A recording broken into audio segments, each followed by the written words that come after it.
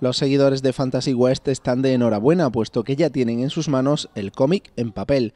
Tantas eran las ganas de verlo en este formato que en tan solo unas horas sus creadores consiguieron el objetivo que se habían marcado en una campaña de crowdfunding. Y en el primer día ya lo conseguimos. Esto del crowdfunding tienes aproximadamente 30 días para alcanzar tu objetivo, nosotros el primer día ya habíamos conseguido, entonces eh, decidimos marcarnos una serie de objetivos nuevo. Esos nuevos objetivos les han permitido añadir el color y más páginas al cómic final, y es que del objetivo inicial de 1.200 euros han alcanzado casi 5.000.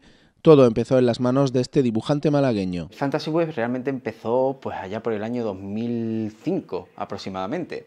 Eh, donde sacamos la primera historia con unos amigos en una revista. A Jacobo se le unió Carlos Correia como guionista en la distancia y las historias de los personajes de Fantasy West se podían seguir online.